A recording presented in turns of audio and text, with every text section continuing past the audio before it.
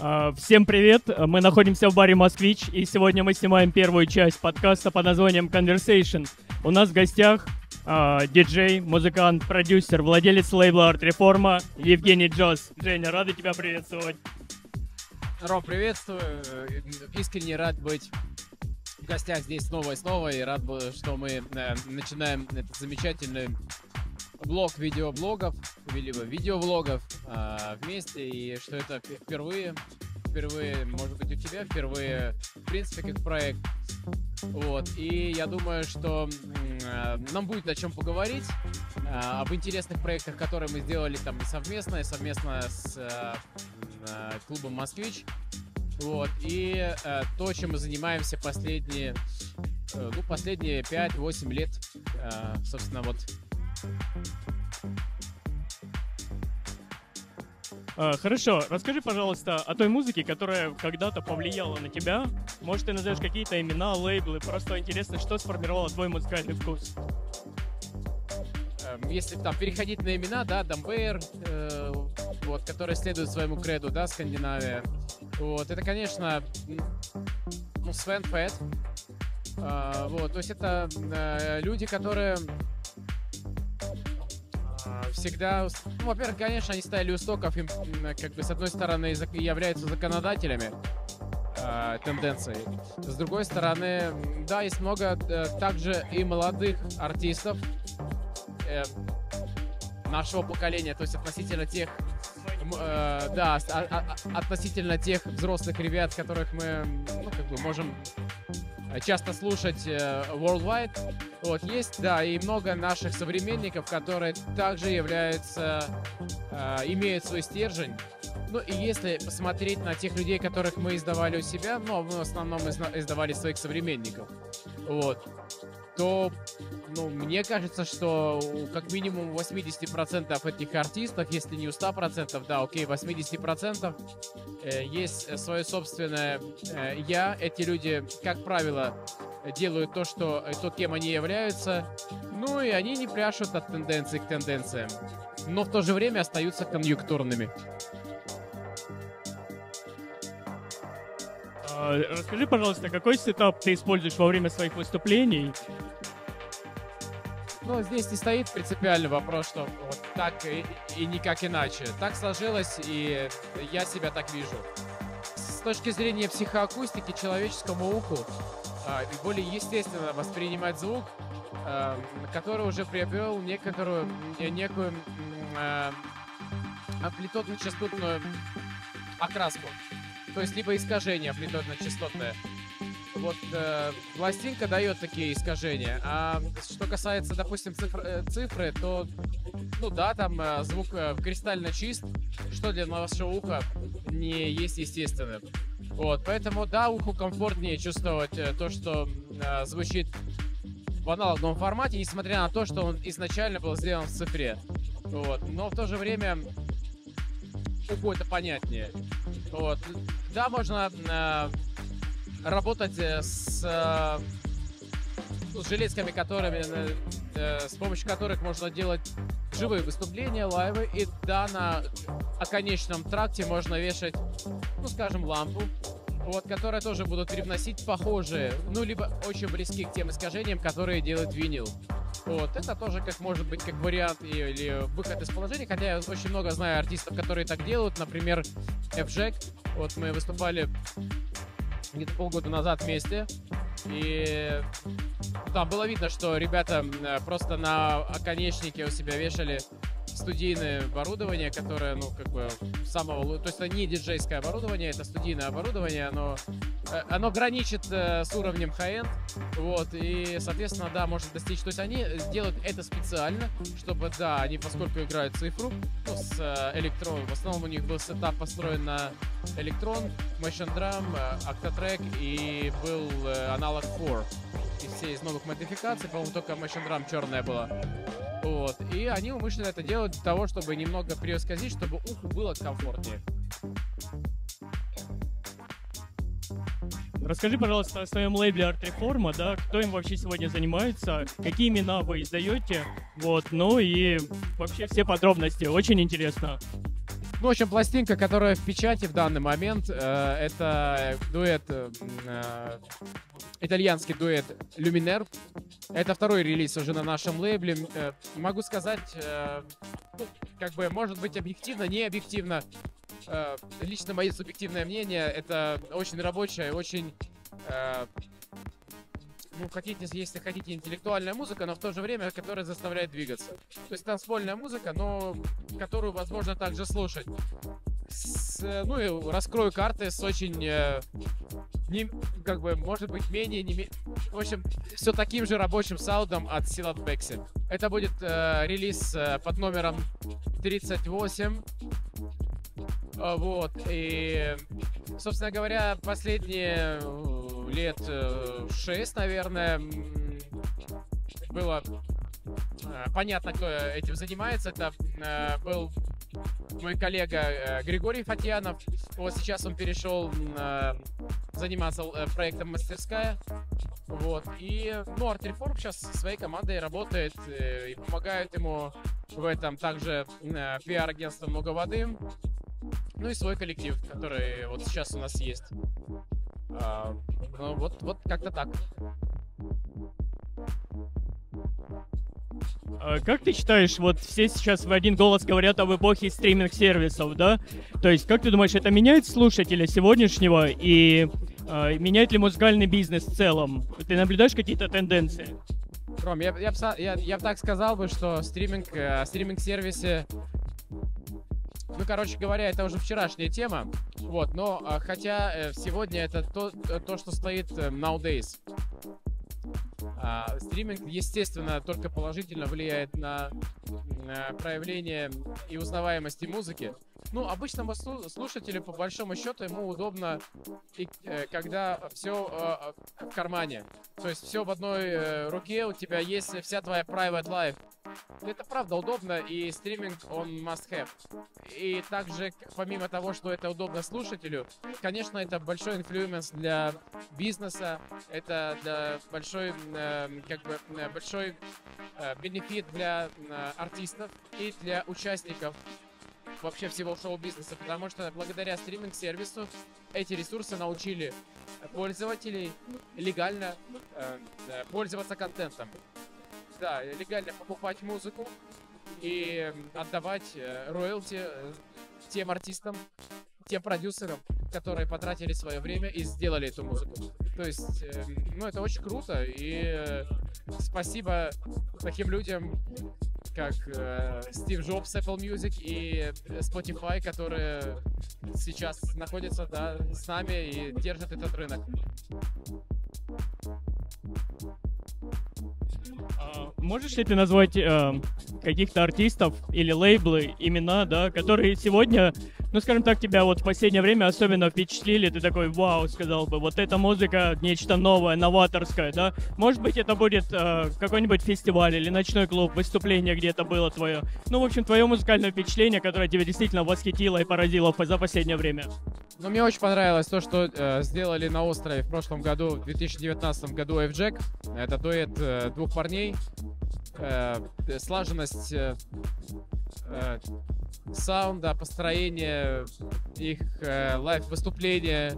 Ну и в целом то, как сделаны аранжировки. Аранжировки сделаны круто.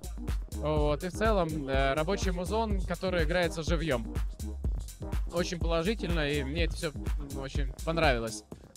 А, я могу отметить украинскую сцену. Это просто э, с каждым годом это мощнейший бум, который постоянно э, пробивает э, worldwide э, э, сцены и стены, сцены и э, заявляет о себе. То есть наших артистов знают, их слышат, их воспринимают. Ну вот мы и делали на самом деле лейбл, и я ни в коем случае не причисляю, допустим, себя к тем, кто либо нашу команду к тем, кто э, способствовал развитию, допустим, музыки, электронной сцены э, Украины и ее представления за э, вообще в мире в целом. Но так или иначе, мы изначально строили лейбл для себя, чтобы выпускать в первую очередь украинских артистов. вместе с, с дуэтом, в ремиксах, как угодно, в, коллабор... в любых видах коллабораций э, worldwide артистов. Неважно откуда они, да, уже там э, как бы в точке этой коллаборации происходит, рождается что-то новое. Новое для самого артиста, который, ну, мейном заявлен на, на пластинке. И для того артиста, который делает э, либо ремикс, либо это там э, совместная работа в студии. Вот, это, ну, это всегда интересно. Это по-новому открывает и артиста, и ремиксера, да. Вот это наша, как бы, основная идея, которую мы несем э, в нашем лейбле. Ну и как бы творчество, соответственно, говорит само за себя название э, импринта. Вот. Э, ну, могу сказать одно, что мы на, только на лейбле Art не останавливаемся, идем дальше, и есть... Э, ну, они уже есть релизы саб-импринтов, о которых мы просто сейчас не рассказываем, но они есть в продаже и точно так же покупаются.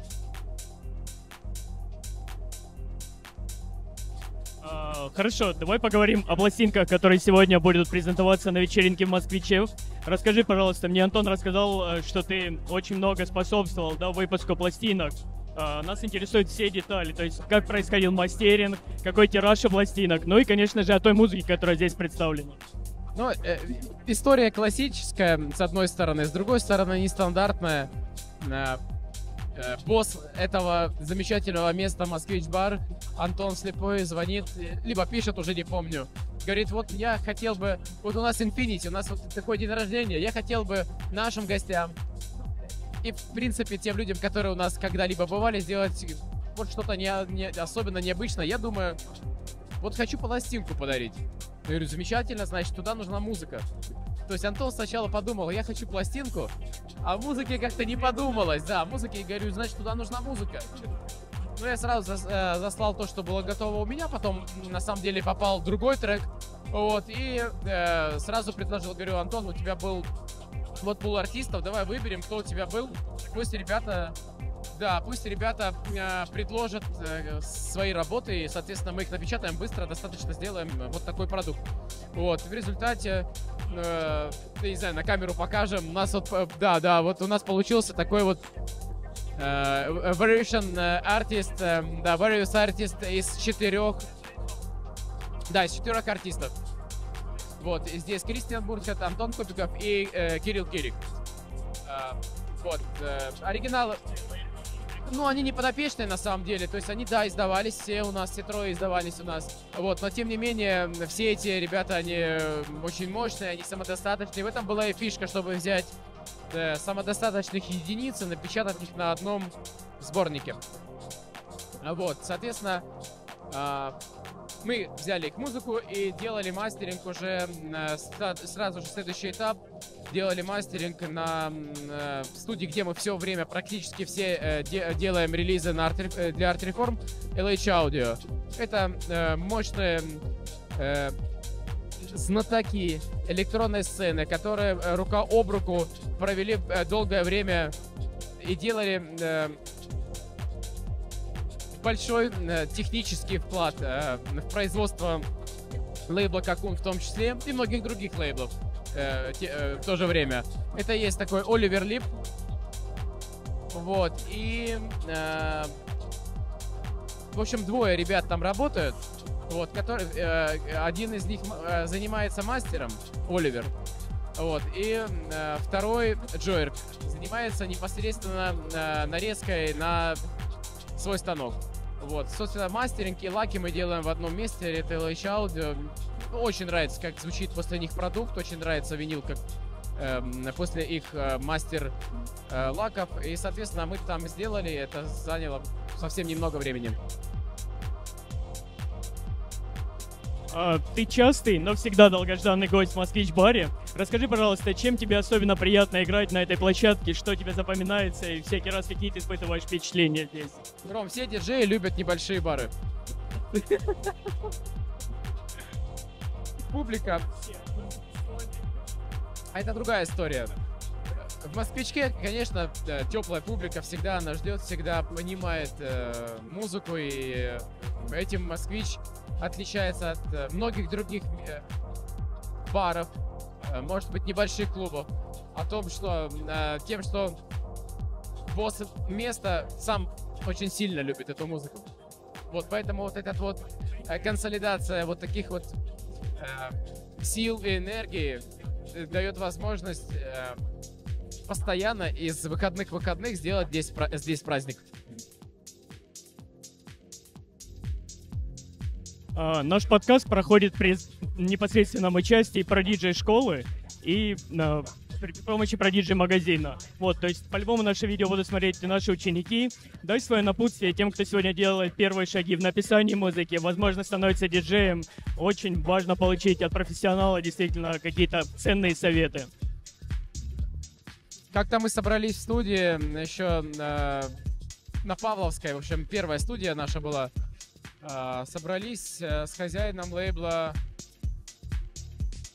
в общем, сейчас не смогу вспомнить быстро. Он мне сказал, говорит, для того, чтобы э, хорошо себя чувствовать, ну, не на маркете, а чтобы повышать свои скиллы, ой, свой skills, нужно два крыла. То есть two wins. Нужно крыло, которое отвечает за продакшн, и крыло, которое отвечает за диджеинг. Сложно написать музыку для диджеев, не, не являясь таковым. Точно так же, играя только чужую музыку, в принципе, ну, э, ты доходишь до пиковой точки, да, ты супер можешь мастерски э, сводить, компилировать, э, ну, в конце концов, быть харизматичным, вот, но продакшн подтолкнет э, такого талантливого мастера и артиста дальше. И э, вот э, глубина этого, этого, скажем так, развития, ну, она граничит с бесконечностью, поэтому Конечно, здесь нужно заниматься им, э, стараться играть, чтобы ну, как можно чаще, чтобы быть в форме. Вот. И познавать знания звукоинженерии, потому что звукоинженерия это в чистом виде музыкальная э, тема и образование, и физика и звукоинженерия. Поэтому, наверное, звукоинженерия больше, потому что в написании музыки не только электронной музыки. 80% э, это технических вопросов. То есть это техника, это э, какие-то приемы, э, это всегда мышка и клавиатура. И только 20% у тебя клавиши, где ты наносишь свои эскизы, свои мысли, э, идеи превращаешь в те тембры, которые уже понимаешь, как их сделать. Вот, поэтому, да, это физика, да, здесь нужно учиться, и да, здесь нужно самообразовываться для того, чтобы в конце концов твой продукт звучал на том уровне, который от того требует индустрия. И последний вопрос, он скорее более личного характера. Я очень люблю фортепианную музыку и смотрю, как ты периодически выставляешь сторис, где ты играешь на фортепиано. Как ты считаешь, э, сегодняшним, ну не сегодняшним, вообще музыканту электронному важно знать нотные азы или достаточно просто знать какие-то проги, софты и так далее? Есть люди, которые пишут музыку без знания э, музыкальной грамоты, и таких, ну, много. Но поверь, э, люди, которые э, хотя бы есть базовое, ну, базовое понимание, либо, допустим, не с детства, а уже в зрелом возрасте, которые выучили эту грамоту, ну, в результате у них музыка э, становится музыкой. Спасибо тебе большое за интервью, было очень увлекательно. И ждем тебя за пультом. Да, спасибо, очень приятно. Спасибо, Москвич. И с днем рождения, и с выходом первой пластинки.